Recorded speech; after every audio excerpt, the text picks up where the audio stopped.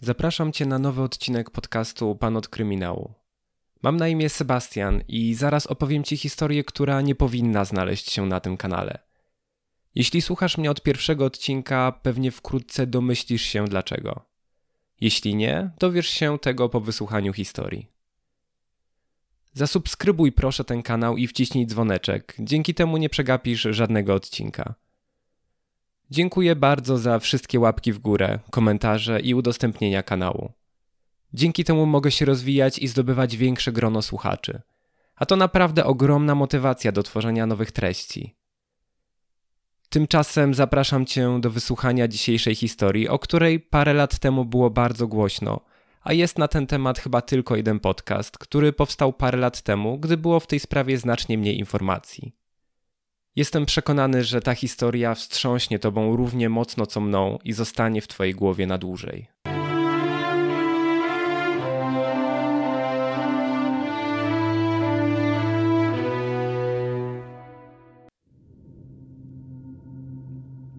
Życie nie zawsze rozpieszcza. Nie zawsze jest miło i przyjemnie, a dobre chwile zazwyczaj przeplatają się z tymi gorszymi. U większości ludzi zdarzają się dłuższe momenty, kiedy jest się w tak zwanym dołku, z którego nie zawsze jest łatwo wyjść. Rozstanie, brak pracy, niepewna przyszłość większość z nas przez to przechodziła. Z drugiej strony, wszyscy chcemy kochać i być kochani. Chcemy czuć się ważni dla drugiej osoby i bezustannie walczymy o szczęście. Wśród nas są niestety jednostki, które potrafią wykorzystać drugą osobę, gdy ta ma opuszczoną gardę i znajduje się na zakręcie życiowym lub po prostu pragnie uwagi i miłości. Niestety takie osoby są bardziej narażone na przeróżne manipulacje, które często prowadzą do jeszcze większego nieszczęścia. Czy właśnie tak było w dzisiejszym odcinku? Co łączy kobiety, które za chwilę Wam przedstawię? Do czego może doprowadzić ludzka chciwość? Posłuchajcie sami.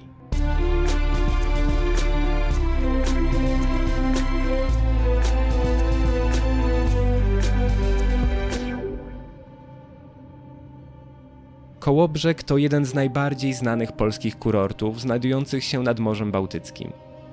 Przez lata miasto znajdowało się w granicach państwa niemieckiego, ale co ciekawe w X wieku było pod władaniem Piastów, a Mieszko I rozbudował znajdujący się w okolicach dzisiejszego kołobrzegu gród. Państwo polskie dość szybko utraciło kontrolę nad regionem, a przez kolejne kilkaset lat miasto było pod władaniem Duńczyków, książąt pomorskich, Brandenburgii, Prus oraz Niemiec. Pod koniec XIX wieku miasto stało się popularnym uzdrowiskiem, a wizytówką miasta stał się Strandschloss, zjawiskowy pałac, w którym spali najbogatsi goście z regionu i nie tylko. Podczas II wojny światowej miasto zamieniło się w twierdzę, a w 1945 roku ostatecznie zostało zdobyte przez pierwszą armię Wojska Polskiego oraz Wojska Radzieckie. W wyniku walk 90% miasta znalazło się pod gruzami. Niestety ten sam los spotkał wspomniany wcześniej pałac, który praktycznie zniknął z powierzchni ziemi. To jak okazale kiedyś wyglądał można dziś zobaczyć na archiwalnych zdjęciach dostępnych w sieci. W 1945 roku po wygranej bitwie doszło do zaślubin Polski z morzem, co miało zwiastować przejęcie przez Polskę Pomorza. Miasto przez lata było znane ze swoich właściwości leczniczych i zyskało wielu sympatyków również wśród obywateli Polski, którzy do brzegu przybywali nie tylko ze względu na plaże i morze, ale również w celu wyleczenia m.in. chorób górnych i dolnych dróg oddechowych, nadciśnienia czy chorób skóry. Obecnie miasto zamieszkiwane jest przez około 44 tysiące osób, a latem liczba osób przebywających w Kołobrzegu znacznie wzrasta. Dzięki położeniu miasta mieszkańcy nierzadko znajdują zatrudnienie w licznych hotelach, restauracjach lub sklepach, które w sezonie przeżywają prawdziwe oblężenie. Spora jest też liczba turystów z Odry, czego oznaką jest m.in. menu w języku niemieckim w większości restauracji w mieście. To nie dziwi, bo Kołobrzeg jest bez wątpienia piękny i ma bardzo dużo do zaoferowania. Niestety nawet takie miejsca nie są wolne od przestępczości, o czym boleśnie przekonali się bohaterowie dzisiejszego odcinka. Bogusława ma 43 lata, mieszka w Kołobrzegu i pracuje jako starsza kucharka w renomowanym hotelu Dune. Ośrodek jest bardzo nowoczesny, luksusowy, a swoim gościom zapewnia najwyższą jakość usług. Praca w takim miejscu jest powodem do dumy, a kobieta jest dodatkowo bardzo chwalona i nagradzana przez swoich przełożonych. Rodzina i znajomi mówią na nią Bogusia, a takie ciepłe zdrobnienie wyjątkowo do niej pasuje. Kobieta jest bowiem bardzo rodzinna, dobra, sumienna i wszyscy, którzy ją znają, mają o niej jak najlepsze zdanie.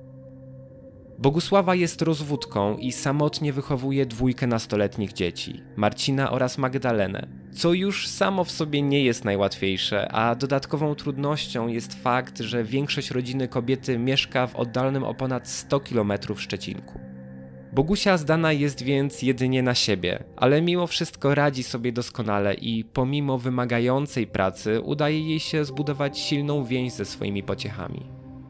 Do pełni szczęścia kobiecie brakuje jednak bliskiej osoby, z którą mogłaby stworzyć związek.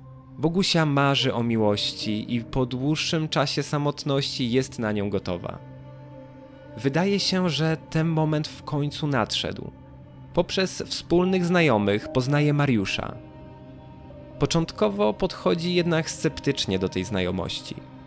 Mężczyzna posiada cechy, które Bogusia szczególnie ceni u płci przeciwnej. Mariusz jest bowiem niezwykle uprzejmy i szarmancki. Swoją kobietę zawsze puszcza przodem przez drzwi, odsuwa jej krzesło, otwiera drzwi od samochodu i potrafi prawić komplementy. Bogusia jest zupełnie oczarowana Mariuszem i wydaje się, że w jej życiu w końcu pojawił się ktoś, kto będzie ostatnim puzzlem w układance.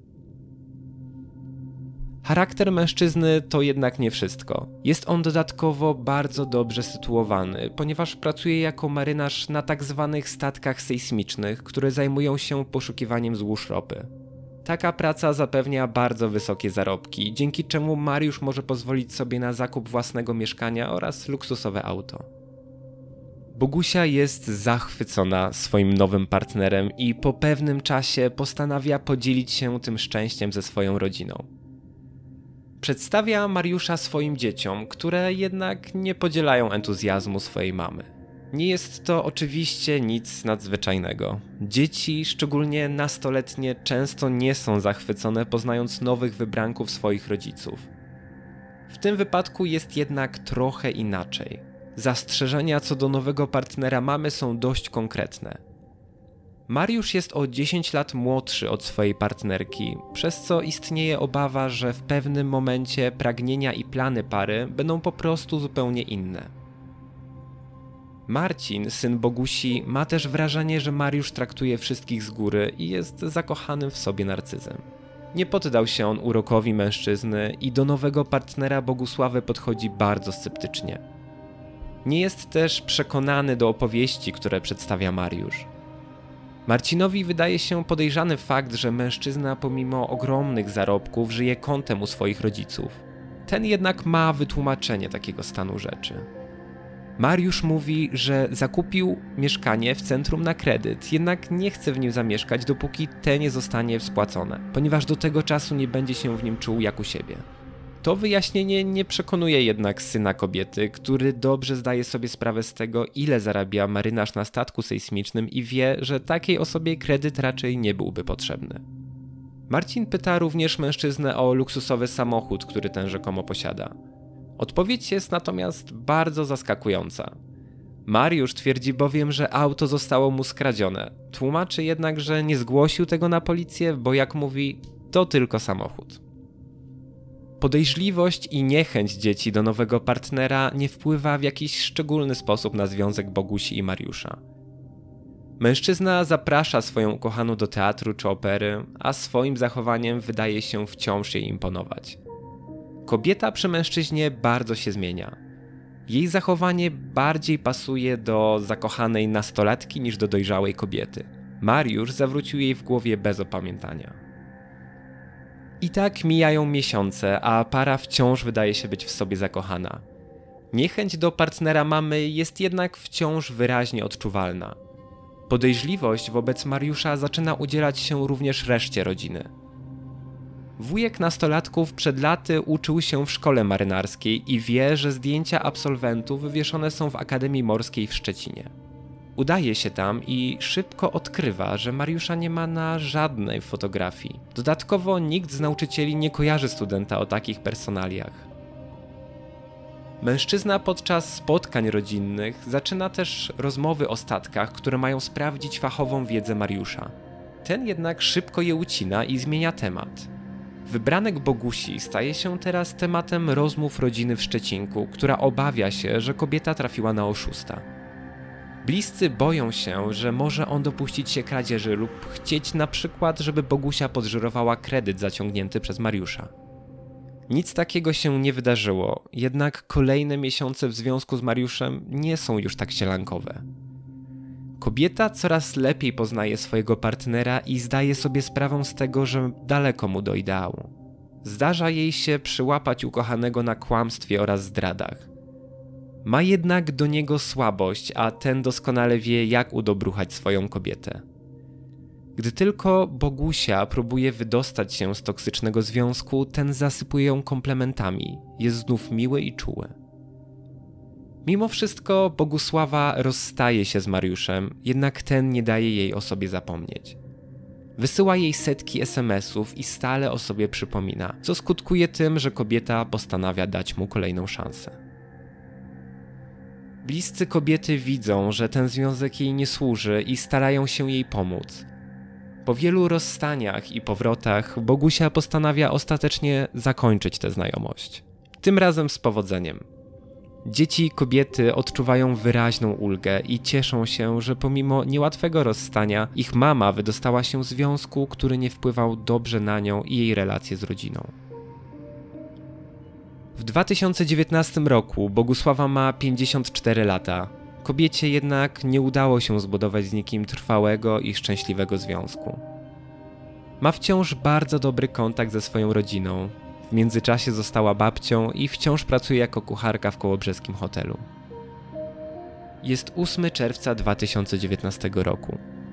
Od wczoraj nikt nie ma kontaktu z Bogusią, co wydaje się dziwne, tym bardziej, że z córką rozmawia praktycznie codziennie. Teraz jednak jej telefon milczy.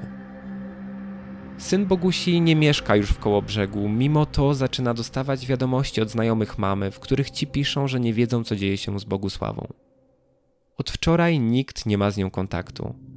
Wydaje się też, że w jej mieszkaniu nikogo nie ma. Przyjaciele kobiety zwracają jednak uwagę na uchylone okno balkonowe, co kompletnie nie pasuje do bojącej się złodziei Bogusi. Kilka lat wcześniej włamano się do mieszkania kobiety, a nieproszeni goście weszli właśnie przez okno balkonowe. Od tamtego czasu Bogusława bardzo pilnowała, żeby to było zawsze zamknięte. Bliscy mają przeczucie, że mogło wydarzyć się coś złego.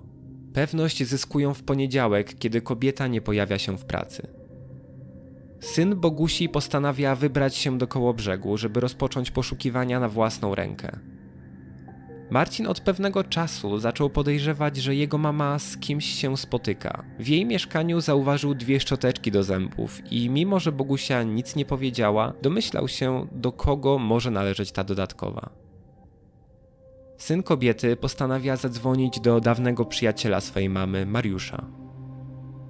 Zaskoczony mężczyzna potwierdza, że faktycznie od jakiegoś czasu ponownie kontaktuje się z Bogusią, jednak tym razem na stopie koleżeńskiej. Mariusz wydaje się nie być zaskoczony nagłym zniknięciem kobiety. Przyznaje, że poprzedniego dnia był z nią umówiony na obiad i Bogusława dotarła na spotkanie. Według mężczyzny Bogusia wyjechała za granicę. W ostatnim czasie miała podupaść na zdrowiu, miała być też winna Mariuszowi sporą sumę pieniędzy. Zdaniem mężczyzny planowała wraz z nim zająć się deweloperką. Te informacje szokują bliskich Bogusi. Marcin kończy rozmowę z mężczyzną, jest jednak pewny, że jego matce musiało stać się coś złego i na pewno nie wyjechałaby z kraju bez słowa. Po rozmowie syna Bogusi z Mariuszem, bliscy są przekonani, że ten ma coś wspólnego z jej zniknięciem. Marcin od razu postanawia zadzwonić na policję. Informuje też funkcjonariuszy o swoich podejrzeniach co do osoby, która może mieć ze zniknięciem matki coś wspólnego. Policjantka, która odbiera telefon, studzi jednak jego entuzjazm i oznajmia mu, że takie zniknięcia są czymś zupełnie normalnym. Mówi, że bliscy często nie chcą być znalezieni, a Bogusława jest dorosłą kobietą. Bliscy Bogusi są pewni, że kobieta nie odeszłaby w taki sposób od całej rodziny. Dzień później otrzymują jednak SMS-a od 54-latki o treści: Nie szukajcie mnie, jak będę chciała, to zadzwonię. Udaje im się ustalić, że został on faktycznie wysłany z miejscowości znajdującej się w Niemczech. Znają jednak Bogusławę i wiedzą, że coś tu jest nie tak. Rodzina rozpoczyna własne śledztwo mające na celu wyjaśnienie zaginięcia ich bliskiej. Wertują gazety, sprawdzają dokładnie inne zaginięcia w Kołobrzegu i okolicach i już następnego dnia trafiają na trop, który wydaje się być obiecujący. Docierają do bliskich Anety D., która zaginęła w 2018 roku w Kołobrzegu. Udaje im się ustalić, że otrzymali od swojej bliskiej niemal identycznego SMS-a po jej zaginięciu. Jest jeszcze coś, co sprawia, że włos jeży się na głowie. Aneta D. przed zaginięciem spotykała się z Mariuszem G. Tym samym, który lata temu tworzył związek z Bogusławą, a teraz z przekonaniem twierdził, że ta wyjechała do Niemiec. Marcin z rodziną połączyli kropki i wiedzą już, że to nie może być przypadek. Kim zatem jest Aneta D? W 2018 roku Aneta ma 37 lat i mieszka w Kołobrzegu. Kobieta jest dość skryta i spokojna. Dzieciństwo spędziła w Szwecji z matką, która po drugiej stronie Bałtyku znalazła pracę i układała sobie życie. Ojciec został w kraju i prowadzi sklep w Kołobrzegu. W mieście mieszka jeszcze siostra babci kobiety z mężem, z którymi Aneta ma bardzo dobry kontakt. Jest zdecydowanie zżyta ze swoim miejscem zamieszkania. Po powrocie ze Szwecji kobieta próbuje odnaleźć się w nowej rzeczywistości. Start ma całkiem dobry. Od rodziców otrzymała bowiem mieszkanie w bloku, a kolejne odziedziczyła po zmarłych dziadkach. Nie ma pracy, więc aby zarobić na swoje utrzymanie, postanawia wynająć swoje mieszkanie letnikom, których wiosną i latem i wczesną jesienią w koło brzegu przecież nie brakuje. W miejscowościach turystycznych podczas sezonu w taki sposób można zarobić naprawdę bardzo dobre pieniądze. Po sezonie takie mieszkanie można wynająć na dłużej, już nie na doby, dzięki czemu nieruchomość wciąż na siebie zarabia. Nie są to już tak znaczące sumy, ale pozwala to jednak na w miarę komfortowe życie przez cały rok. Mimo wszystko Aneta chce znaleźć pracę na pełen etat przyszłość patrzy z optymizmem i wierzy, że uda jej się znaleźć zajęcie dające nie tylko pieniądze, ale też satysfakcję. Jest 9 października 2018 roku. Aneta udaje się do swojej, jak to określa, ciocio babci. Informuje krewną, że nie może zostać na długo, ponieważ wybiera się do Gdańska, gdzie ma odbyć się kurs mający pomóc kobiecie w znalezieniu pracy w nieruchomościach. Aneta jest jednak bardziej wycofana niż zwykle. Pomimo tak naprawdę dobrych informacji, wydaje się być speszona i nieco przybita. Krewna od razu zauważa, że coś jest nie tak. Próbuje ją przytulić. Ta jednak odsuwa się od niej, jakby bała się, że zaraz pęknie i na dobre się rozklei. Wizyta nie trwa długo, bo zaledwie około 20 minut. Siostra babci Anety jest zaniepokojona zachowaniem swojej krewnej, nie ma jednak pomysłu, jak może jej pomóc. Następnego dnia rodzina Anety otrzymuje od niej SMS-a o następującej treści: Wyjeżdżam, nie kontaktujcie się ze mną. Jak będę chciała, to zadzwonię.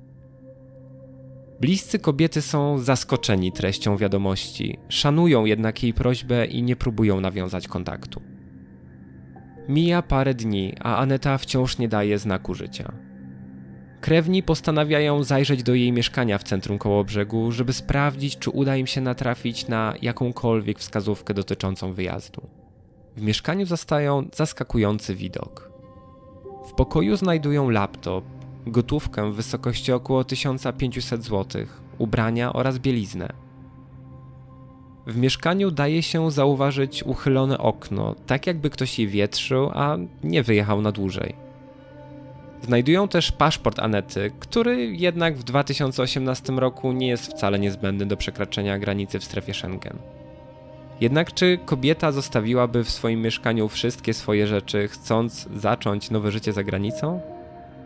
Pani Hania, mama Anety, jest przekonana, że sprawę należy zgłosić na policję.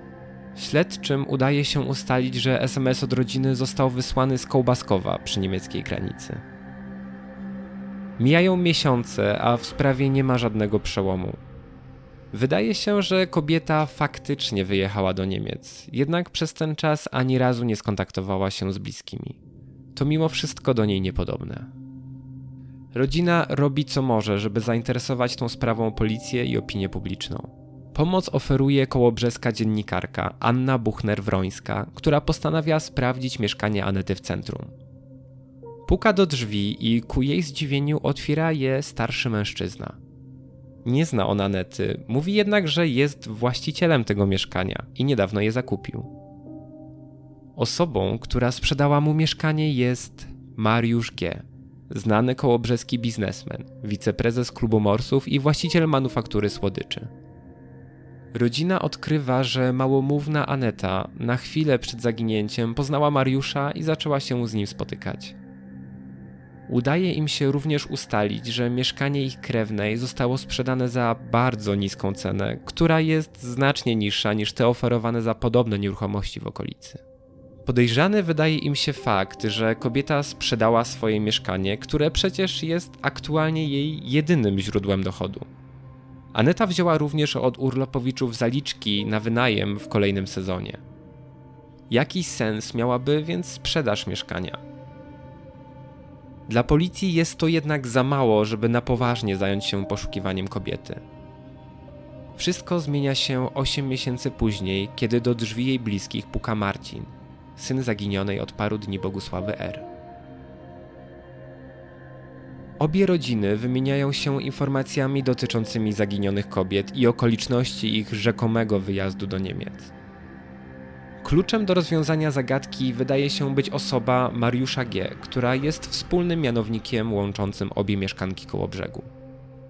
Z nowymi informacjami bliscy udają się na policję, która tym razem postanawia szybko zająć się sprawą. Śledczy bezzwłocznie zatrzymują podejrzanego Mariusza G., którego zastają w kołobrzeskim hotelu wraz ze swoją narzeczoną, 42-letnią Dorotą Eł, z którą za trzy dni mężczyzna ma wziąć ślub. Dzięki danym z logowań jego smartfona śledczy docierają do miejscowości Obroty, gdzie zatrzymują kolejną podejrzaną w sprawie osobę, Sebastiana T. Na jego podwórku odnajdują ważny dowód w sprawie Forda Fiestę, który należy do zaginionej Bogusi. Funkcjonariusze docierają również do informacji, z których wynika, że Mariusz G. zdążył już przejąć mieszkanie 54-latki. Śledczy stawiają aresztowanym zarzuty dotyczące zaboru mienia zaginionych póki co nie mają jeszcze wystarczającej ilości dowodów, żeby postawić komukolwiek zarzut porwania lub morderstwa którejś z kobiet. Śledczy jednak w pocie czoła pracują, żeby ustalić, jaki los spotkał zaginione mieszkanki koło brzegu. Nieoficjalnie mówi się, że w Fordzie Bogusi znaleziono ślady krwi, siekierę oraz szpadel, na których ma znajdować się jej DNA. Funkcjonariusze sprawdzają też logowania telefonów oskarżonych, a wyniki konfrontują z zatrzymanymi mężczyznami oraz kobietą. Mijają miesiące, a w sprawie, przynajmniej oficjalnie, nie dzieje się wiele. Śledczy jednak stale przesłuchują podejrzanych w nadziei, że którejś z nich w końcu pęknie. Aresztowani mimo to nie przyznają się do winy, kluczą i zmieniają zeznania. Nadchodzi jesień 2019 roku. Kołobrzescy dziennikarze od mieszkańców dowiadują się o szeroko zakrojonej akcji poszukiwawczej policji w podkołobrzeskim Lesie Harzyńskim. Miejsce to jest chętnie odwiedzane przez mieszkańców Kołobrzegu i znajduje się w niedalekiej odległości od miejscowości Obroty, w którym odnaleziono auto zaginionej Bogusławy. Okoliczne drogi są zablokowane przez funkcjonariuszy, a w całej akcji bierze udział duża ilość policjantów. Dziennikarze dowiadują się, że śledczy szukają ciał zaginionych Bogusławy R., Anety D. oraz trzeciej kobiety, do której morderstwa miał przyznać się podejrzany Mariusz G. Jak się okazało, w 2016 roku zaginęła Iwona K., która miała być pierwszą ofiarą biznesmena, okrzykniętego przez prasę krwawym tulipanem z koło brzegu. Opinia publiczna jest w szoku. Chcą się teraz dowiedzieć, kim była Iwona, którą ostatni raz widziano w 2016 roku. Iwona ma 31 lat i mieszka w kamienicy przy ulicy Mariackiej w Kołobrzegu. Nie jest z tych okolic. Pierwsze lata spędziła w domu dziecka wraz ze swoją młodszą siostrą. Po jakimś czasie jednak obie dziewczynki zostały adoptowane przez małżeństwo z województwa kujawsko-pomorskiego i zamieszkały w domu w niewielkiej wsi. Życie nie rozpieszcza Iwony. Jako młoda dziewczyna została matką. Jednak wychowywanie córki przychodzi jej z trudnością, tym bardziej, że ojciec dziewczynki nie jest obecny w jej życiu. Kobieta nie jest zbytnio zainteresowana macierzyństwem. Postanawia wyjechać do Warszawy i spróbować swoich sił jako modelka i hostessa. Być może jest to dla niej sposób, żeby wyrwać się z niewielkiej wioski, w której każdy zna każdego. W mieście może być anonimowa. Stolica prawdopodobnie ją rozczarowała, ponieważ w 2015 roku postanawia przeprowadzić się do Kołobrzegu. Tam zamieszkuje na ostatnim piętrze kamienicy w centrum miasta. Sąsiadom nie daje się jednak poznać z najlepszej strony. Początkowo do mieszkania wprowadza się wraz z małoletnią córką. Mimo to Iwona prowadzi dość rozrywkowe życie. W jej mieszkaniu dochodzi do licznych imprez. Przyjmuje też wielu gości, którzy uprzykrzają życie innym mieszkańcom kamienicy. Skargi sąsiadów na nic się jednak nie zdają, a Iwona ewidentnie nie zamierza zmieniać swojego trybu życia. Ostatecznie córka kobiety zostaje przez nią odesłana do dziadków na wieś. Iwona nie ma szczęścia w miłości i nie potrafi ułożyć sobie życia. W kamienicy, w której mieszka, poznaje jednak sąsiada, który robi na niej wrażenie. Mężczyzna jest dobrze ubrany, szarmancki, potrafi poprowadzić rozmowę i wydaje się być ucieleśnieniem człowieka sukcesu. Zaczyna się on opiekować Iwoną i po pewnym czasie wydaje się, że tym razem kobieta dobrze ulokowała swoje uczucia. Sceptyczni co do jej wybranka są jednak sąsiedzi, którzy Mariusza, bo tak ma na imię mężczyzna, widują cały czas z innymi kobietami. Mariusz jest niezwykle uprzejmy i pomocny wobec swoich sąsiadów. Zawsze zapyta o ich zdrowie, rodzinę, nie jest jednak wścibski, a raczej uprzejmy. Zdarza się jednak, że sąsiedzi widzą go w towarzystwie różnych kobiet. Potrafi pożegnać się czule z Iwoną, żeby zaraz wejść do mieszkania w towarzystwie zupełnie innej pani. Mieszkańcy kamienicy przy ulicy Mariackiej są tym wyraźnie zniesmaczeni, jednak nie chcą wchodzić butami w cudze życie i nie czują się zobowiązani do powiadomienia Iwonę o tym, że raczej na pewno nie jest jedyną kobietą Mariusza. W styczniu 2016 roku, nie do końca wiadomo w jakich okolicznościach, dochodzi do pożaru w mieszkaniu Iwony przy ulicy Mariackiej. Kobieta na szczęście wychodzi z niego cało i udaje jej się opuścić budynek. Ma na sobie tylko koszulę i jest wyraźnie pod wpływem alkoholu lub innych substancji odurzających. Następnego dnia lokal kobiety nie nadaje się do zamieszkania. Ogień strawił tam praktycznie wszystko. Jest wiosna 2016 roku. Mariusz, partner Iwony, postanawia wyremontować mieszkanie swojej kochanki. Pytany o to przez sąsiadów, mężczyzna oznajmia, że zakupił nieruchomość od Iwony, a ta nie wróci już do mieszkania przy Mariackiej. Bardziej dociekliwi sąsiedzi dowiadują się od niego, że ta wyjechała do Niemiec, gdzie chce rozpocząć wszystko od początku. Tym bardziej zaufanym mówi, że Iwona pracuje w domu uciech w Hamburgu. Nikt jednak nie ma na tyle dobrego kontaktu z kobietą, żeby zweryfikować te słowa. Nie ma też żadnych przesłanek do tego, żeby nie wierzyć Mariuszowi. Iwony nikt więc nie szuka.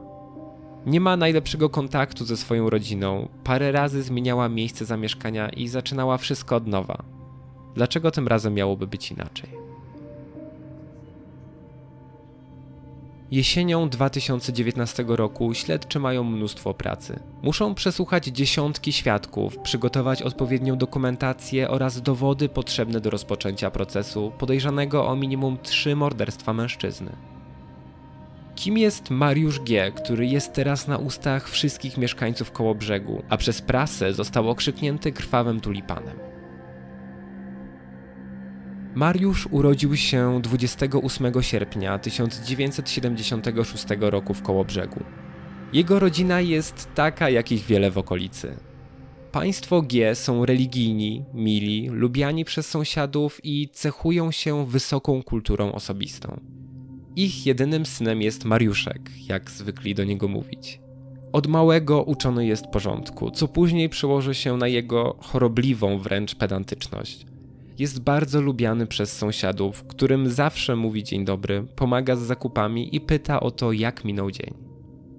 Kołobrzeg to nadmorskie miasteczko, które latem odwiedzane jest przez tysiące turystów z Polski. Jest również popularne wśród Niemców, dla których wakacje nad Bałtykiem po wschodniej stronie granicy są znacznie mniejszym wydatkiem niż na zachodzie. Warunki do życia w mieście po lecie nie są jednak najłatwiejsze. Wielu mieszkańców narzeka na straszny wiatr, który jesienią i zimą jest szczególnie dokuczliwy. Mariusz jednak jest zafascynowany morzem. Od najmłodszych lat wie, że to właśnie z nim będzie wiązała się jego przyszłość. W rodzinnym domu często słyszy, że na morzu można sporo zarobić. Być może dlatego po szkole podstawowej postanawia wybrać się do technikum rybołówstwa morskiego, które ma przygotować go do pracy jako marynarz. Mariusz jest zresztą bardzo dobrym uczniem. Wyróżnia się na tle kolegów i zostaje nawet wybrany do kompanii honorowej jako sztandarowy. Po szkole w wieku 20 lat rozpoczyna pracę w jednostce Straży Granicznej. Później zmienia pracodawcę na polską żeglugę morską. Praca marynarza jest bardzo wymagająca i wiąże się z tym, że przez wiele miesięcy jest się na morzu, przez co trudno mu nawiązać bliższe relacje z osobami będącymi na lądzie. Tym bardziej w przypadku młodego chłopaka, który w planach ma założenie rodziny. Być może właśnie z tego powodu Mariusz postanawia wrócić do Kołobrzegu, gdzie podejmuje się pracy na miejscowych kutrach. Wtedy też poznaje filigranową, pochodzącą z południowej Polski blondynkę, w której szybko się zakochuje. Wkrótce później para bierze ślub i po pewnym czasie rodzi im się córka. Niestety pensja, którą otrzymuje Mariusz na kołobrzeskich kutrach jest niewielka. Małe dziecko generuje sporo kosztów, co sprawia, że rodzina nie radzi sobie najlepiej. Mariusz postanawia wtedy wrócić na pełne morze, dzięki czemu będzie mógł zapewnić swoim bliskim lepszy byt. Robi jednak coś, co ma sprawić, że będzie mógł liczyć na jeszcze lepsze zarobki. W swoim CV twierdzi, że ukończył studia na Akademii Morskiej. W rzeczywistości jednak naukę zakończył na technikum. To wydaje się niewinne kłamstwo otwiera mu drogę do sporych pieniędzy. Przez prawie 11 lat pracuje na statkach wykrywających fale sejsmiczne, które mają pomagać w odnalezieniu potencjalnych złóż ropy. Zarobki na takim statku to kwoty rzędu kilku tysięcy euro. Wielomiesięczne rozstania nie wpływają jednak dobrze na jego kontakt z żoną i córką. W 2014 roku przestaje pływać na morzu, co prawdopodobnie sprawia, że rodzina zaczyna teraz mierzyć się z problemami finansowymi. Jest tak źle, że małżeństwo decyduje się sprzedać swoje mieszkanie i zamieszkać w starej kamienicy w centrum koło brzegu wraz z rodzicami Mariusza. Matka mężczyzny za kłopoty z płynnością finansową obwinia góralkę, jak mówi o swojej synowej. Zdaniem starszej kobiety to ona roztwoniła majątek, przyczyniając się do zubożenia swojej rodziny. Kilka miesięcy później małżeństwo zostaje rozwiązane. Żona Mariusza wraz z córką postanawia wrócić w rodzinne strony na południe, zostawiając byłego już męża w koło brzegu. Mariusz musi teraz zacząć wszystko od nowa.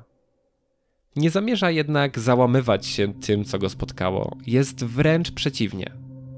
Mężczyzna staje się niezwykle towarzyski i rozrywkowy.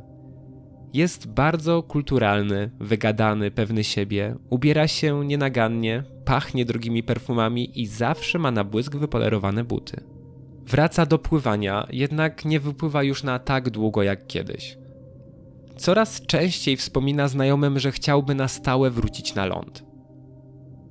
W 2016 roku postanawia spróbować swoich sił w biznesie. Otwiera manufakturę słodyczy karmelkowo w Kołobrzegu, a to ma sprawić, że nie będzie już musiał pracować jako marynarz. Mimo ogromnych chęci zmiany swojego życia, biznes Mariusza okazuje się kompletną klapą. i jeszcze w tym samym roku mężczyzna zmuszony jest wrócić na morze.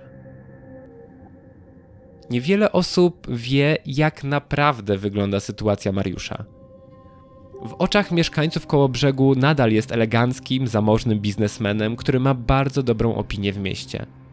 Jest też wiceprezesem klubu Morsów, gdzie również znany jest jako wzorowy obywatel, któremu uśmiech nigdy nie schodzi z twarzy. Mariusz prowadzi bujne życie towarzyskie. Spotyka się z wieloma osobami, jednak na przyjęciach zawsze zjawia się sam. Jego znajomi słyszą co jakiś czas, że ten się z kimś spotyka. Żartują nawet, że wybranka musi być wyjątkowo piękna, a ten boi się, że ucieknie, jak ją pokaże światu. Sąsiedzi Mariusza widzą go natomiast w towarzystwie różnych kobiet i pomimo tego, że zawsze do nich zagaduje, postrzegają go jako bawidamka.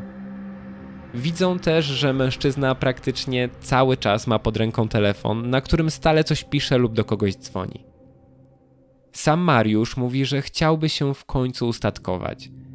Wydaje się, że ten moment nastąpił, bo wszystkich obiega informacja, że Mariusz planuje skromny ślub ze swoją znajomą, bizneswoman z Koszalina Dorotą.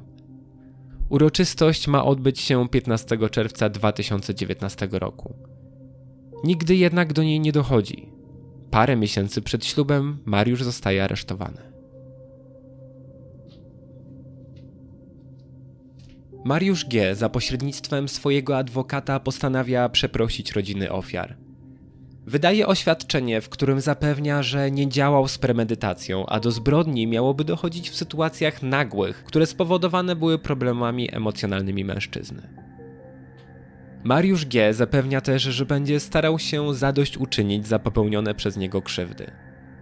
Adwokat przekazuje również dziennikarzom informację, że oskarżony o potrójne zabójstwo jest w złej kondycji psychicznej i bardzo żałuje swoich czynów.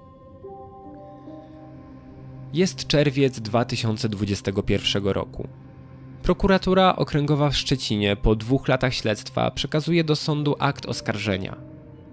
Mariusz G. podejrzewany jest o potrójne morderstwo z powodów zasługujących na szczególne potępienie. Oskarżony miał zabijać z chęci zysku. W trakcie śledztwa ustalono, że Mariusz przywłaszczył sobie kwotę około 180 tysięcy złotych, którą uzyskała od ubezpieczyciela jedna z zamordowanych. Miał również zawrzeć umowy kredytowe na łączną kwotę ponad 225 tysięcy złotych na dane osobowe swoich ofiar. W przejęciu majątków zamordowanych kobiet miały oskarżonemu pomagać dwie kobiety – Karolina oraz Lucia S., które używając fałszywych dokumentów miały podszywać się pod nieżyjące już mieszkanki koło brzegu. W ten sposób udzielały Mariuszowi G pełnomocnictwa do ich reprezentowania. Następnie oskarżony miał przenosić własność lokali mieszkalnych zamordowanych na swoją rzecz.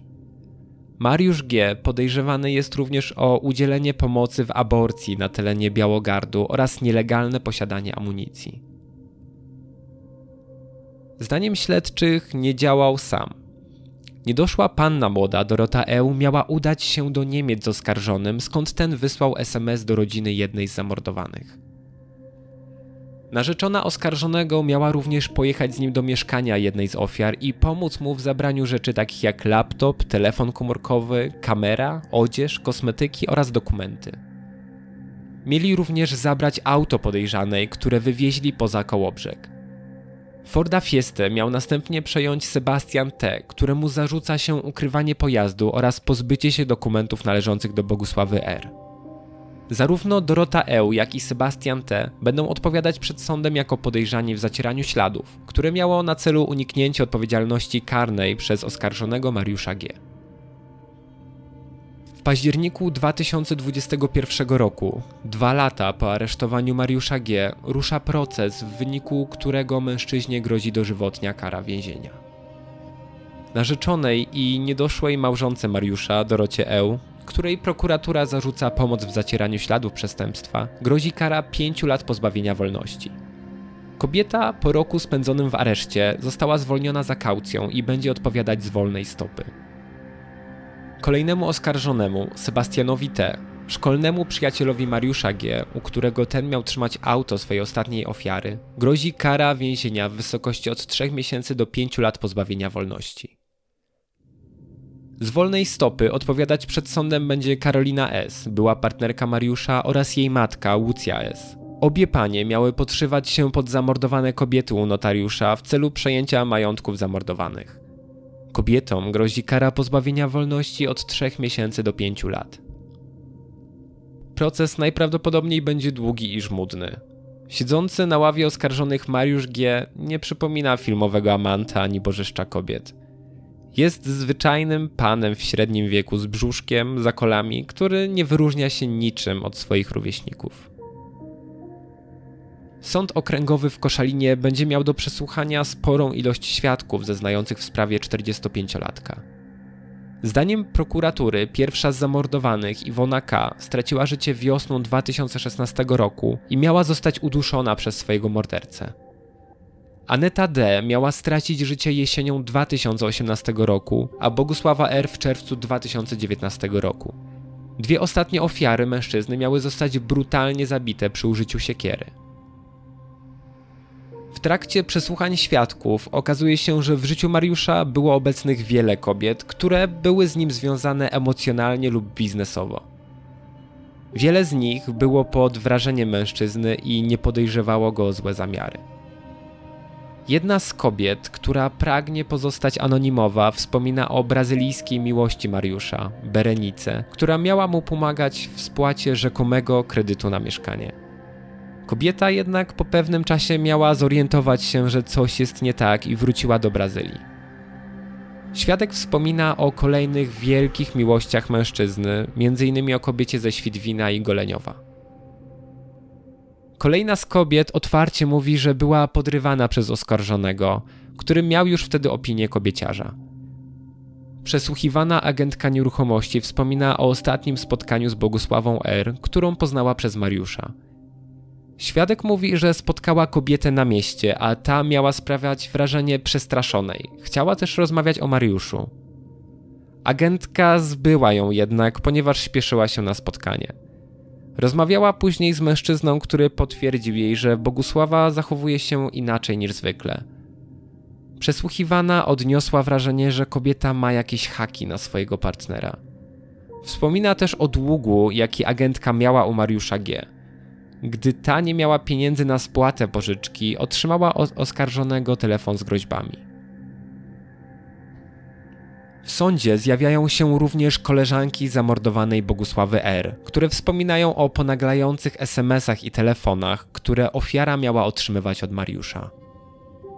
Kobiety uważają, że Bogusia stale schodziła się i rozstawała ze swoim kochankiem oraz ukrywała swoją relację przed rodziną, która nie akceptowała wybranka krewnej.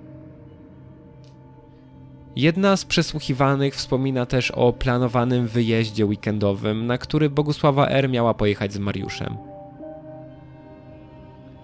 Kolejny etap procesu rusza w lutym 2022 roku. W sądzie okręgowym w Koszalinie w roli świadka zjawia się siostra jednej z oskarżonych, niedoszłej żony oskarżonego Doroty Eł. Kobieta jest przekonana, że jej siostra miała być kolejną ofiarą Mariusza i nie powinna zasiadać na ławie oskarżonych. Wspomina też Mariusza G. jako opiekuńczego i robiącego bardzo dobre wrażenie. Świadek przyznaje, że nie może powiedzieć o niedoszłym szwagrze złego słowa. Miała do niego zaufanie i w jego towarzystwie paradoksalnie czuła się bezpiecznie. Kobieta wspomina o dniu, w którym według ustaleń śledczych życie straciła Bogusława R. Siostra oskarżonej przyznaje, że tego popołudnia Mariusz widział się zarówno z nią, jak i jej siostrą. Miał zachowywać się zupełnie normalnie i nic nie wskazywało na to, że parę chwil wcześniej brutalnie zamordował swoją kochankę. Po pewnym czasie oskarżony wraz z narzeczoną mieli udać się do domu zamordowanej. Następnego ranka świadek zobaczyła w swoim mieszkaniu kolorową walizkę, a gdy o nią zapytała, dowiedziała się, że ktoś musiał pilnie wyjechać, a Mariusz i Dorota planują wysłać tej osobie jej rzeczy. Oskarżona Dorota Eł odmówiła składania wyjaśnień w sądzie. Zeznania zebrane w śledztwie zostały odczytane przez sędzię Annę Rutecką-Jankowską. Kobieta uparcie twierdzi, że jest niewinna i nie miała pojęcia o morderstwach, których dokonał jej narzeczony. Wspomina dzień, w którym pojechali do mieszkania Bogusławy i utrzymuje, że miała jedynie pomóc w spakowaniu rzeczy znajomej swojego przyszłego męża, która pilnie wyjechała z koło brzegu. W trakcie pobytu w mieszkaniu Dorotę Eł miała ogarnąć nagła senność, co poskutkowało zaśnięciem kobiety przy stole. Oskarżona sugeruje, że nastąpiło to po otrzymaniu napoju od Mariusza G. Przed sądem stanął również Andrzej S., w sprawie którego postępowanie prowadzi krakowska prokuratura. Mężczyzna miał wykonywać fałszywe dowody tożsamości, które posłużyły oskarżonym do podszywania się pod zmarłe kobiety. Świadek przyznaje, że wykonał repliki dowodów. Twierdzi natomiast, że były to jedynie humorystyczne dokumenty w 30% różniące się od oryginałów. Świadek wyraża również zdziwienie faktem, iż notariusz przyjął dokument jako prawdziwy. Kilka dni później poprzez internetowe łącze zeznaje radny z Warszawy, prywatnie znajomy oraz były partner pierwszej zamordowanej kobiety, Iwony K., z czasów, gdy ta mieszkała w stolicy. Pomimo rozstania, para pozostała w kontakcie, a mężczyzna został niejako pełnomocnikiem kobiety. Sąd zwolnił mężczyznę z tajemnicy zawodowej, żeby świadek mógł przekazać ważne informacje w toczącej się sprawie. Kilka lat wcześniej Iwona K. miała ulec wypadkowi, w wyniku którego przy pomocy byłego partnera uzyskała odszkodowanie w wysokości blisko 200 tysięcy złotych. Zdaniem mężczyzny Iwona planowała za te pieniądze zakupić mieszkanie dla swojej córki. Radca prawny był w posiadaniu uzyskanej od ubezpieczyciela kwoty, nie mógł jednak skontaktować się ze swoją klientką. Zaczął natomiast dostawać SMSy z jej numeru telefonu, w których ta prosi o pilne przesłanie pieniędzy. Świadkowi wydało się to podejrzane, ponieważ Iwona w swoich wiadomościach zwykle popełniała sporo błędów językowych, a SMSy, które otrzymał rzekomo od kobiety, były poprawne. Iwona miała w nich pisać, że przybywa aktualnie w Holandii, gdzie pracuje na plantacji kwiatów i nie może rozmawiać telefonicznie. Podejrzliwy prawnik postanowił nie przesyłać pieniędzy do czasu, aż kobieta nie skontaktuje się z nim telefonicznie. W innym wypadku przekaże pieniądze do depozytu. Do kontaktu ze strony Iwony jednak nie doszło. Mężczyzna dostawał natomiast kolejne wiadomości, w których osoba wysyłająca SMSy prosiła o przekazanie pieniędzy pełnomocnikowi kobiety Mariuszowi G. Były partner Iwony zażądał wtedy przesłania pełnomocnictwa. Dokument został wysłany przez mecenasa pracującego dla oskarżonego. Prawnik z Warszawy uznał za nielojalne i podejrzane fakt, że wywalczone przez niego pieniądze kobieta powierzyła innej osobie. Takie zachowanie nie pasowało mu do Iwony, którą znał przecież od lat. Zaczął jednak dostawać telefony od mecenasa, w których ten prosił o niepiętrzenie trudności i szybkie przesłanie pieniędzy. Zrezygnowany radca ze stolicy ostatecznie poddał się i bez osobistego kontaktu z Iwoną przesłał pieniądze na konto Mariusza G. Co ciekawe, mecenas Edward Stępień, ten sam, który wywalczył dla swojego klienta pieniądze z odszkodowania Iwony, jest teraz obrońcą w sprawie karnej toczącej się przeciwko Mariuszowi G. Zapytany przez dziennikarze o sytuacji z odszkodowaniem, mecenas stwierdza, że wykonywał jedynie swój zawód, a z jego perspektywy wszystkie dokumenty były prawdziwe i podpisane przez znanego kołobrzeskiego notariusza, co dodatkowo sprawiło, że nie miał wątpliwości co do uczciwości swojego klienta. Dla mecenasa dziwny wydawał się brak chęci wypłaty należnych pieniędzy przez warszawskiego prawnika. Obrońca Mariusza G podkreśla, że podjął się obrony swojego klienta, gdy nie ciążyły jeszcze nad nim zarzuty związane z morderstwem. Jako profesjonalista nie zdecydował się porzucić oskarżonego, gdy ten przyznał się do potrójnego morderstwa. Mijają kolejne dni procesu, a przed sądem coraz wyraźniej widać prawdziwą twarz Mariusza.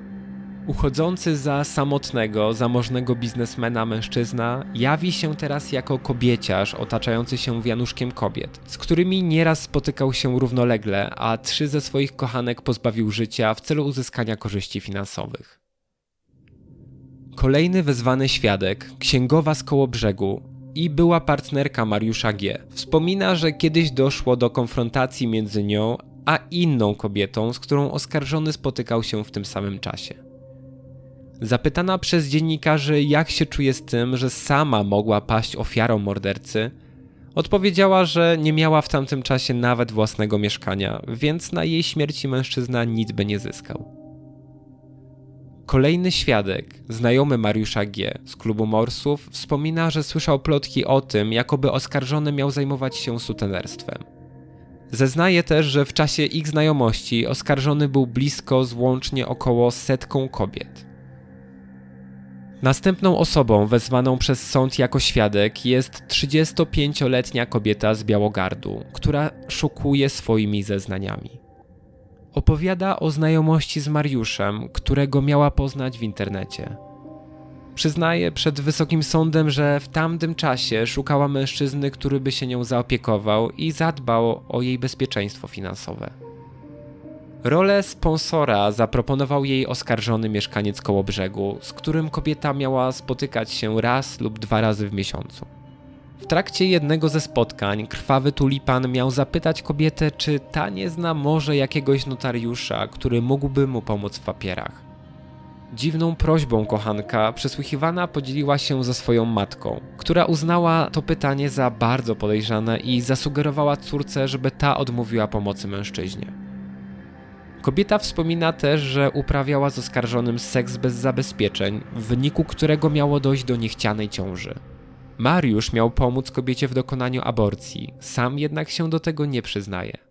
Oskarżony twierdzi, że przesłuchiwana spotykała się z wieloma mężczyznami i to jeden z nich mógł być ojcem dziecka.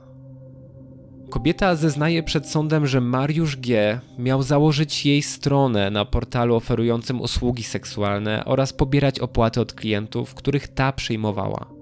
Oskarżony miał inkasować niemały procent za wykonywane przez swoją kochankę usługi. Te zeznania rzucają na mieszkańca koło brzegu kolejne oskarżenia. Skład orzekający będzie musiał teraz sprawdzić możliwość popełnienia kolejnego przestępstwa, a Mariusz G. może być ostatecznie sądzony również o sutenerstwo. Wiele osób ma też wątpliwości co do uczciwości notariuszy, którzy sporządzali dokumenty potrzebne Mariuszowi G. do przejmowania majątków zamordowanych. Jeden z nich podczas przesłuchania w sądzie okręgowym w Koszalinie stwierdza, że była to typowa czynność, która wykonywana jest w kancelarii notarialnej. Podczas takiej wizyty sporządzany jest dokument zazwyczaj oparty o gotowy wzorzec oraz sprawdzane są dokumenty osób zainteresowanych. Notariusz informuje zgromadzonych na sali, że dowody osobiste przedstawione przez jego klientów nie wzbudziły jego wątpliwości. Mówi również, że tego typu pełnomocnictwa podpisywane były w jego praktyce już wcześniej. Podkreśla, że dają one duże możliwości osobie, która pełni rolę pełnomocnika i zdecydowanie musi on być obdarzony ogromnym zaufaniem ze strony osoby, która daje mu takie upoważnienie. Jest czerwiec 2022 roku. Na rozprawę zostają wezwani biegli z zakresu patomorfologii i medycyny sądowej. Wyniki sekcji zwłok dwóch pierwszych zamordowanych kobiet nie pozwalają dokładnie określić, kiedy straciły życie. Jest to spowodowane zaawansowanym procesem gnilnym ciał mieszkanek koło brzegu. Specjaliści stwierdzają jednak, że najprawdopodobniej pierwsza ofiara tulipana, Iwona K., zginęła wiosną 2016 roku.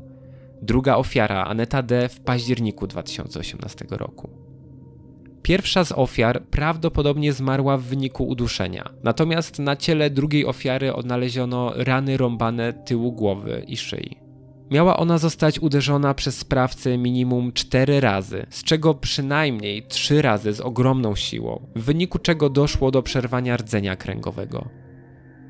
Jest duże prawdopodobieństwo, iż Aneta została zaskoczona przez swojego oprawcę, który mógł zacząć zadawać ciosy, gdy ta stała do niego tyłem. Narzędziem zbrodni, które zostało wskazane przez biegłych, mógł być tasak lub siekiera. Z racji tego, że ciało Bogusławy zostało odnalezione zaledwie parę miesięcy po jej zaginięciu, najwięcej informacji biegli mogli uzyskać podczas jej sekcji zwłok. Według ich ustaleń kobiecie zadano 9 ran rąbanych głowy oraz 6 ran powierzchniowych klatki piersiowej. Przyczyną śmierci mogła być rana rąbana w tył głowy, która doprowadziła do uszkodzenia mózgu. Narzędziem zbrodni mogła być siekiera, ale nie udało się tego ustalić ponad wszelką wątpliwość. U kobiety nie stwierdzono śladów obronnych, co również mogło wskazywać na to, że została ona zaskoczona przez swojego oprawcę. Kolejny dzień procesu jest wyjątkowy, ponieważ przed sądem staje Magdalena R., córka ostatniej ofiary Mariusza G., Bogusławy. Kobieta mówi o ogromnym bólu, z jakim mierzy się jej rodzina po stracie ukochanej osoby. Wspomina też o początkowej niepewności co do losu matki i ostatecznym odnalezieniu ciała, co samo w sobie było niezwykle okrutne. Córka Bogusi opowiada o związku matki z oskarżonym, który według jej słów był bardzo toksyczny i źle wpływał na ofiarę oraz jej rodzinę. Wspomina też o życiu na pokaz Mariusza G., który chciał uchodzić za mądrego, przystojnego biznesmena odnoszącego sukcesy, a w rzeczywistości miał wiedzę bardzo powierzchowną, a jego pieniądze nie były wynikiem jego przedsiębiorczości. Na koniec kobieta opowiada przed sądem o traumie spowodowanej informacją o stanie zwłok matki po ich odnalezieniu. Miało ono być tak zmasakrowane, że nie wiadomo było, czy należy ono do kobiety czy mężczyzny. Na twarzy Magdaleny widać łzy, gdy mówi przed sądem o identyfikacji rzeczy należących do Bogusławy. Ten dzień jest niezwykle poruszający dla wszystkich zgromadzonych na sali. Może z wyjątkiem oskarżonego, który wydaje się być niewzruszony. Mariusz G. od początku procesu właściwie nie odezwał się słowem. Na pierwszej rozprawie wspomniał, że wyda oświadczenie po wysłuchaniu wszystkich świadków. W międzyczasie biegli z zakresu psychiatrii i psychologii stwierdzili, że mężczyzna jest zdrowy psychicznie. Posiada on jedynie osobowość narcystyczną. Nic więc nie stoi na przeszkodzie, żeby ten wypowiedział się w sądzie. Jest wrzesień 2022 roku.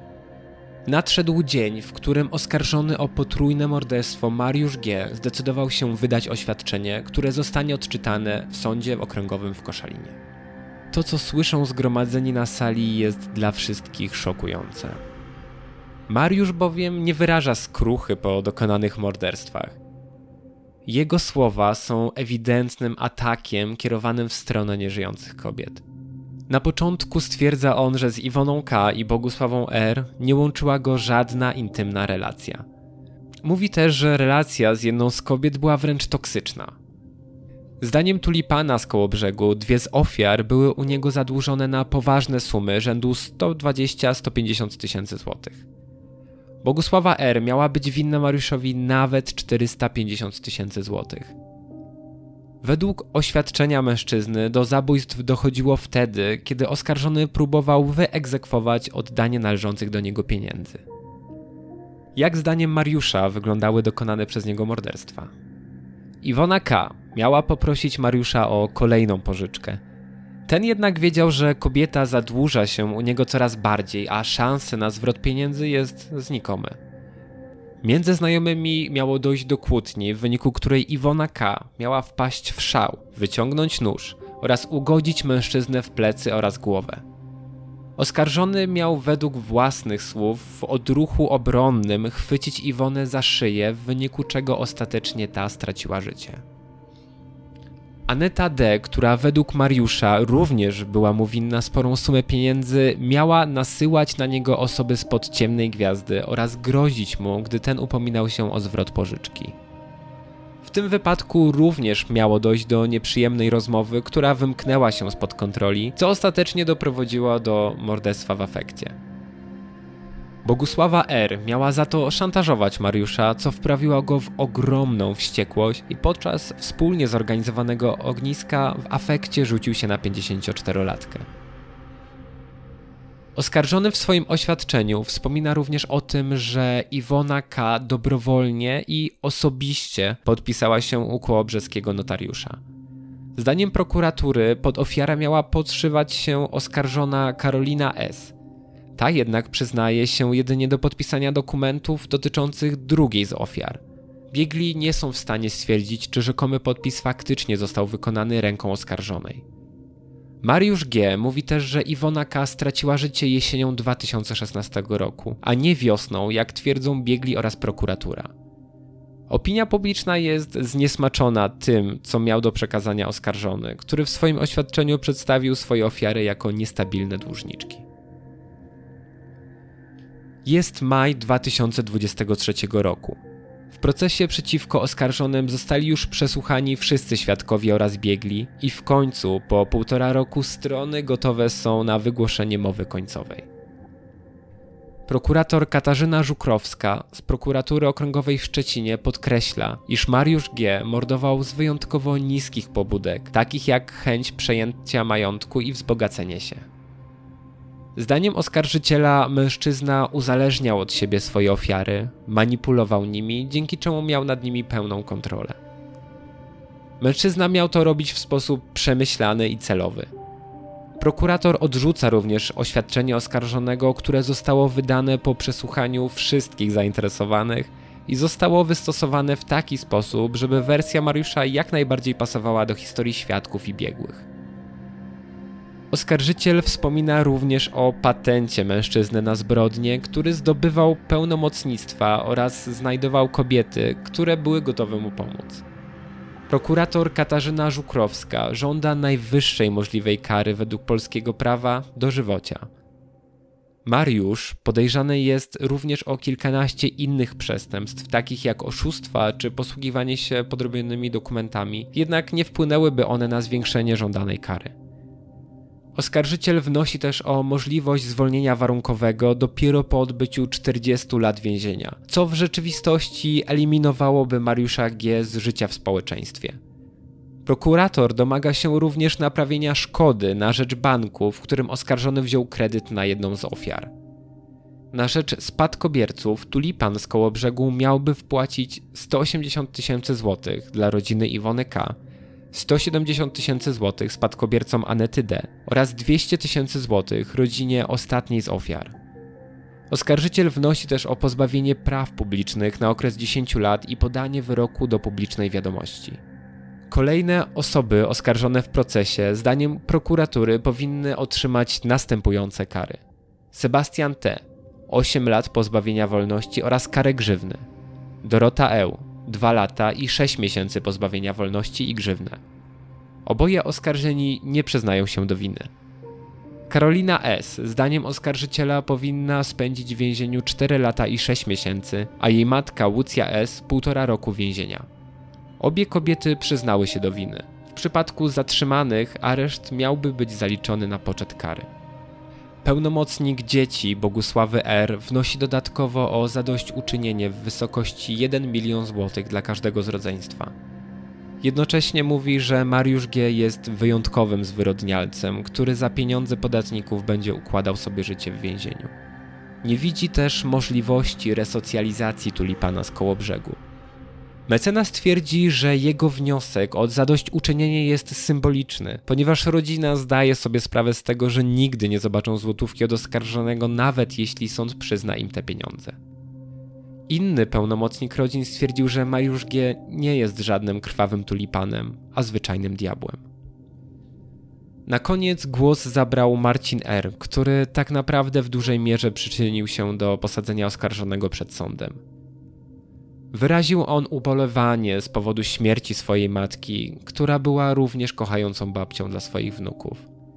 Mężczyzna wspomina o ignorancji notariuszy, którzy nie potrafili odróżnić kolekcjonerskiego dowodu od prawdziwego.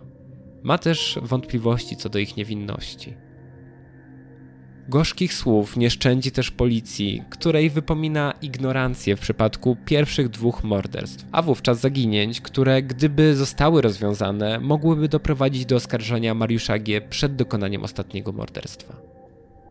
Teraz przyszła kolej na mowę końcową przedstawicieli oskarżonych. Adwokat głównego oskarżonego przyznaje, że zbrodnie jego klienta zasługują na potępienie i sprawiedliwą karę. Wspomina jednak, że Mariusz G. współpracował z organami ścigania. Mieszkanie od Iwony K. kupił legalnie, a prokuratura nie wykazała ponad wszelką wątpliwość, że z ofiarami łączyła go intymna relacja. Mecenas twierdzi, że jego klient jest majętnym człowiekiem, co miałoby przeczyć motywowi wskazanemu przez prokuratora.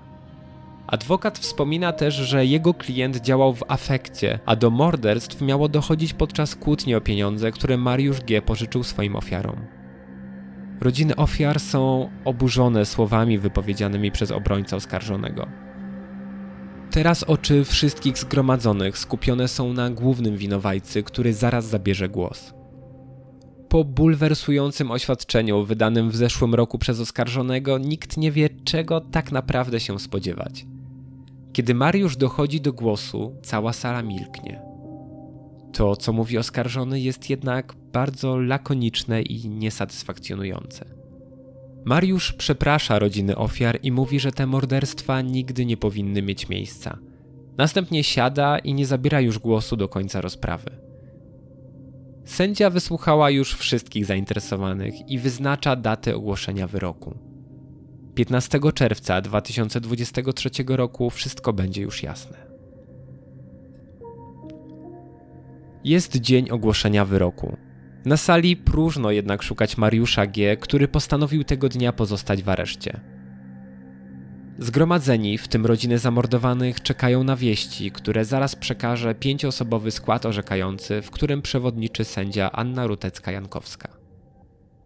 Mariusz G. za zabójstwo trzech kobiet został skazany na karę dożywotniego pozbawienia wolności. O zwolnienie warunkowe będzie się mógł ubiegać po 35 latach więzienia. Skład sędziowski nie miał żadnych wątpliwości co do motywacji oskarżonego. Motywem zbrodni była chęć wzbogacenia się. Mariusz G. miał manipulować swoimi ofiarami, które bez wątpienia mu ufały.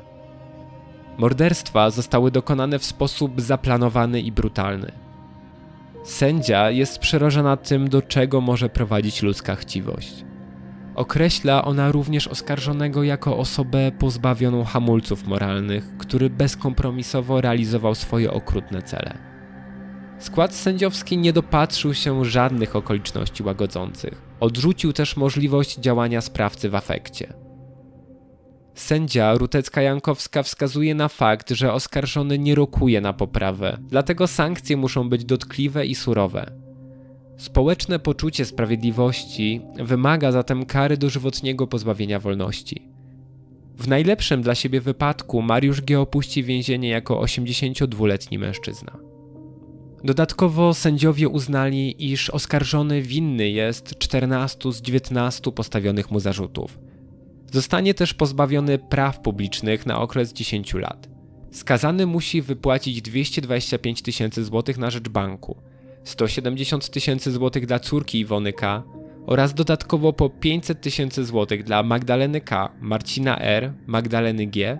oraz 200 tysięcy złotych dla Tadeusza D.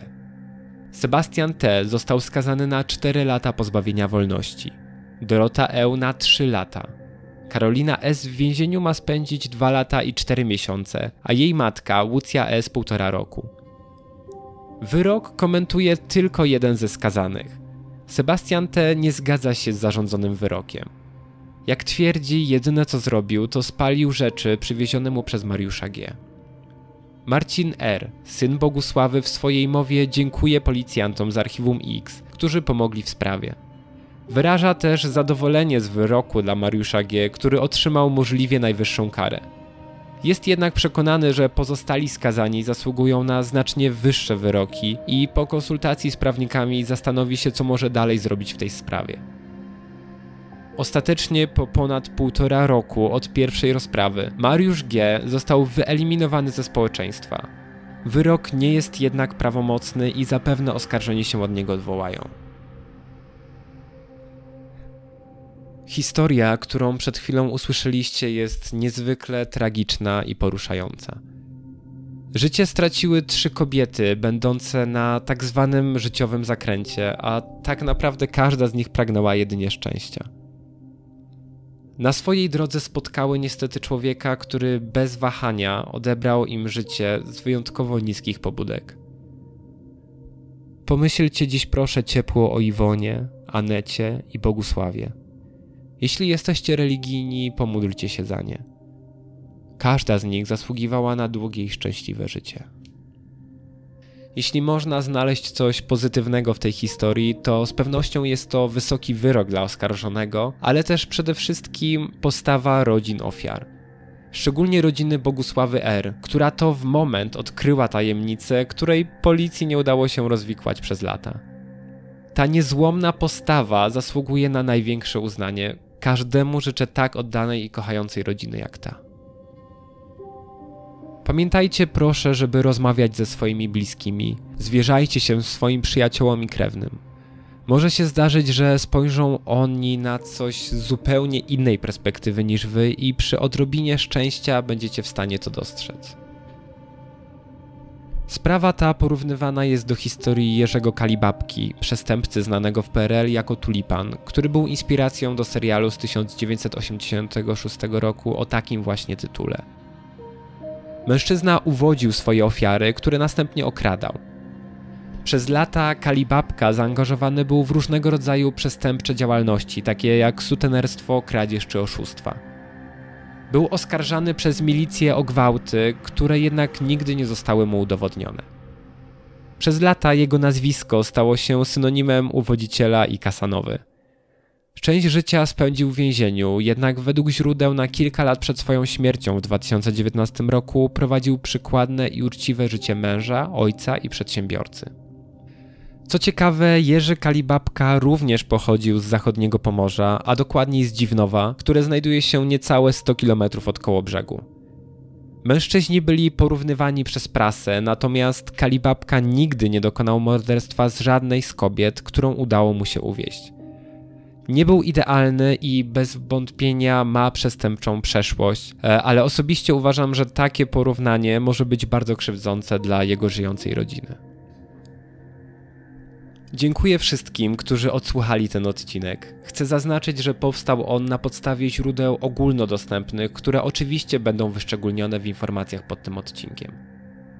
Na początku podcastu powiedziałem, że ten odcinek nie powinien się tu znaleźć. Miałem oczywiście na myśli to, że Mariusz G. jest określony mianem seryjnego mordercy, a wcześniej zapowiedziałem, że takiej historii u mnie nie usłyszycie. Sprawa jednak jest wyjątkowa i podczas przygotowywania odcinka zupełnie nie postrzegałem jej jako historii seryjnego mordercy. Ta sprawa ma wiele aspektów, które sprawiły, że jej miejsce jest właśnie na tym kanale. Mam nadzieję, że nie macie mi tego za złe. Jeszcze raz bardzo dziękuję za wszystkie subskrypcje, komentarze i udostępnienia kanału. Okres wakacyjny się kończy. Mam nadzieję, że będę mógł teraz tworzyć dla Was więcej odcinków i będziecie mogli mnie usłyszeć przynajmniej dwa razy w miesiącu. Już teraz zapraszam Was na mój Instagram, Pan od Kryminału, gdzie znajdziecie informacje o nowych odcinkach i nie tylko. Zapraszam też do subskrybowania tego kanału na YouTube oraz innych platformach podcastowych. Do usłyszenia niebawem i powodzenia.